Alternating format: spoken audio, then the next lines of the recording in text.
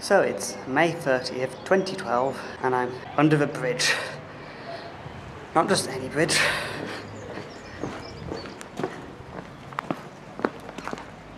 Iron Bridge. In around two and three quarter hours, the Olympic torch will be coming right over the bridge. One problem, it's going to be packed. I'm here already, it's around half twelve. Comes across the bridge around quarter past three, and it's hot and sunny.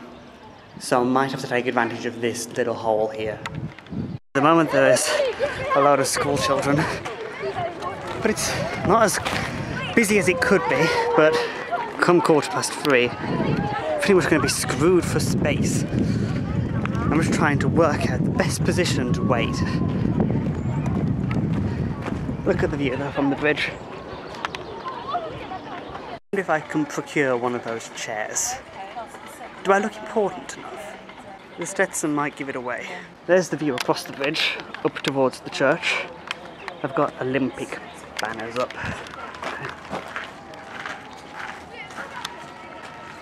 Down here is a nice little quiet spot for me.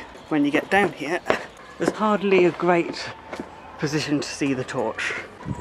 And here is the bridge from this side of the river. Hmm, I wonder if I can procure one of those and stay on the river. That might be a good angle. I really do want to see the torch because I'm probably never going to be able to see it again unless I can travel to the next Olympics, which I think is in Rio. Hmm, Brazil. Anyway, it's a light. It's a beacon of hope and prospects. And to see it cross that, I think would be quite special. See, I keep finding seemingly quiet spots only to find out that they're going to be cut off when the torch comes through. But a woman gave me an idea, which I'm going to check out up these here steps. And the idea is that the churchyard. Now imagine, if you will, the torch coming over the bridge there. And it's quiet here at least. Look how green the wood is today. The beautiful Ironbridge Gorge. I'm going to work on the theory that I can catch two events the bridge crossing and the kiss. Let's see if that is physically possible to do by walking at a fairly brisk pace to the pub where there's supposed to be the kiss.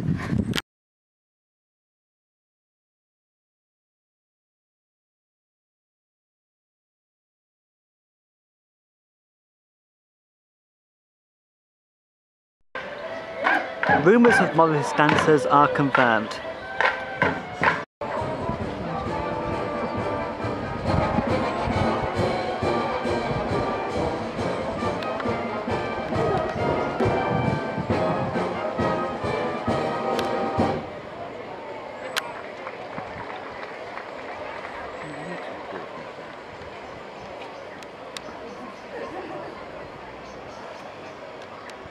There is the convoy.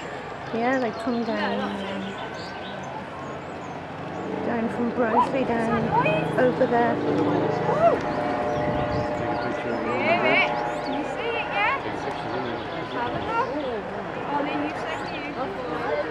And there's the torch. Where's the torch? It's just come off the off the coach there. Wow. I'll definitely get it crossing the bridge. Uh, so engrossed was I trying to hold the camera steady and actually seeing the torch, I forgot to do a commentary. So here goes.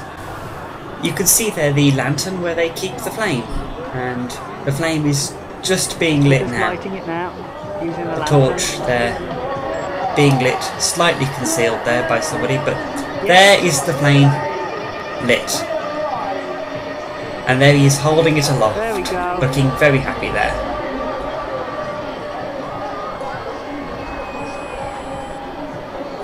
He's showing it to the crowd, having his photo taken. Looking very happy indeed.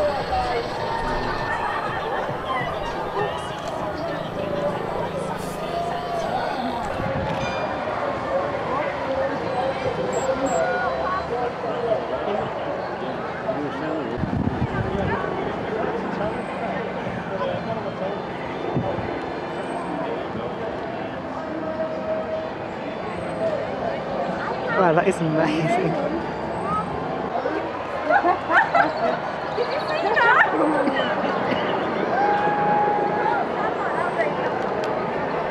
He seems to be having the time of his life. He's grinning, laughing. It's fantastic.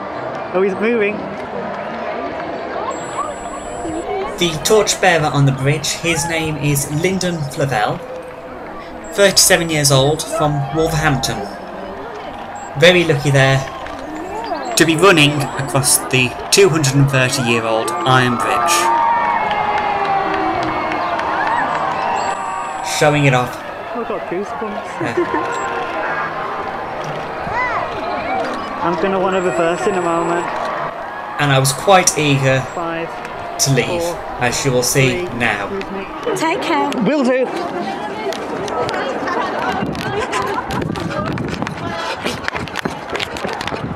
Run!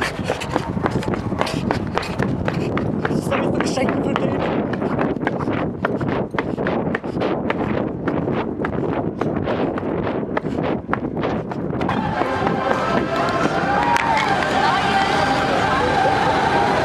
Has it come yet? No.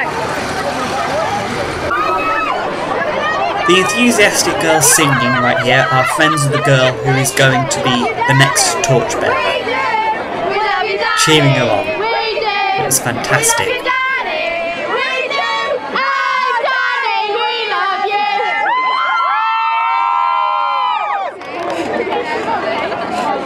The atmosphere is palpable and loud. This sweet little girl is Dani Rowlinson, aged 14 from Telford. Dani! Dani! Smile! Are you gonna My babe, it's going on Facebook. Are you excited? You look so Luck. I, I wished her good luck there. Dani has come through a lot, having been diagnosed with obsessive compulsive disorder at age 9, and unfortunately was unable to attend school for five months. And later she developed anorexia and spent six months in hospital. She was absolutely determined to recover and showed amazing inner strength and courage to get better. Today she is healthy and fit and ready to run the Olympic torch.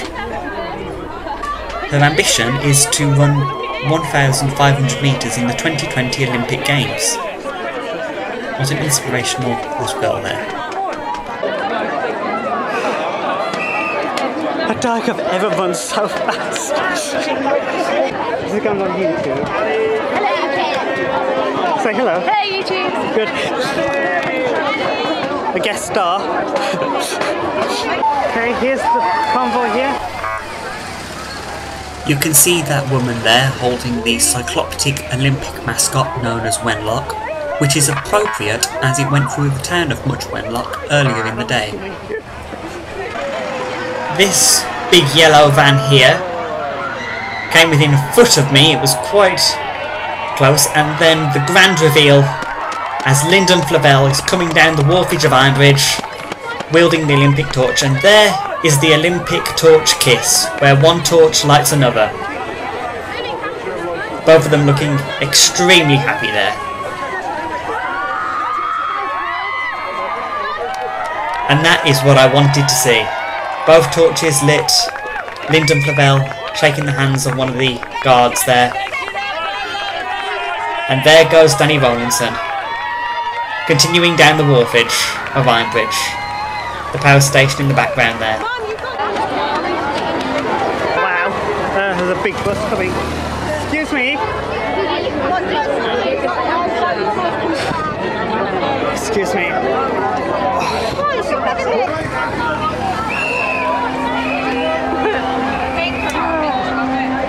Babies. Got him, give him. I followed the convoy down the wharfage and was lucky enough to see many, many torches in the bus there. And I managed to get a little bit closer using my manners and some elbows. And there is Dani Rowlinson again on the bus after running her 300 yards down the wharfage.